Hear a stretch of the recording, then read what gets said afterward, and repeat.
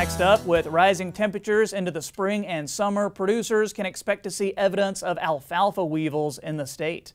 It's recommended to regularly scout alfalfa fields this spring to avoid economic losses in hay production.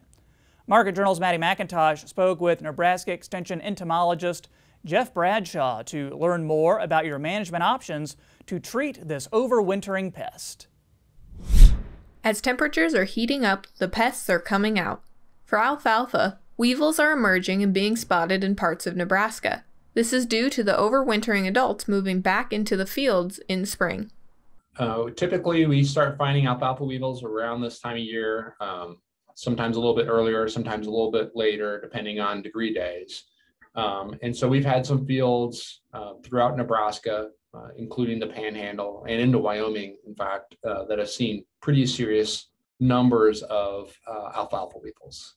Typically, if it's a cold enough winter, those eggs that are laid in the stems will die. Sometimes those eggs can survive through the winter as well. And so that dynamic can complicate management. A weevil infestation should be paid close attention to as they are capable of causing economic harm to the crop. To make sure you know how many you're dealing with, Jeff says to take a big sample. Yeah, so it really depends on the stage of alfalfa. So if it was a, a new seeding, the damage can be a lot greater than if it's an older stand of alfalfa. Um, if you have a heavy infestation, uh, it can have the canopy can have kind of a silvering or graying appearance where the leaves have started to die back from all the feeding. Uh, so sometimes it can be really conspicuous, but sometimes uh, not so much. We recommend that you first take a sweep net and take some sweep samples, just identify the presence, confirm the presence. Uh, the injurious stage really is the larvae, and so you want to scout for the larvae. So we recommend taking uh, 10 random samples of alfalfa stems. So you take the stem and you bang it in a bucket and then you can dump those larvae out and count them. And depending on that count, and again on the length of the stems that you took on average, um, then you can find the threshold. When it comes to treatment, pesticides are one option.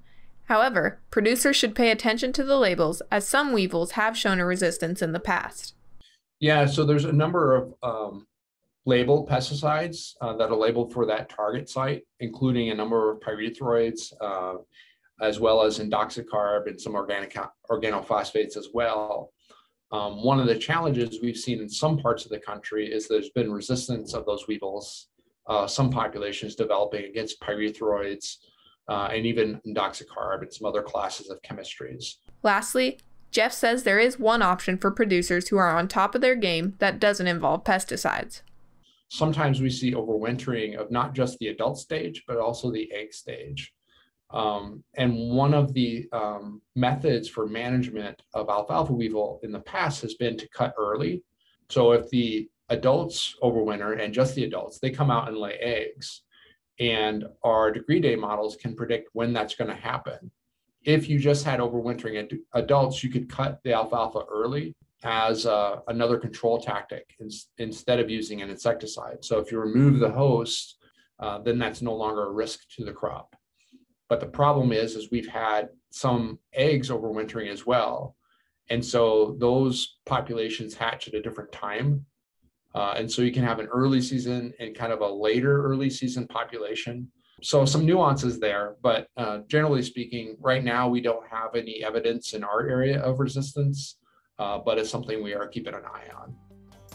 Reporting for Market Journal, I'm Maddie McIntosh.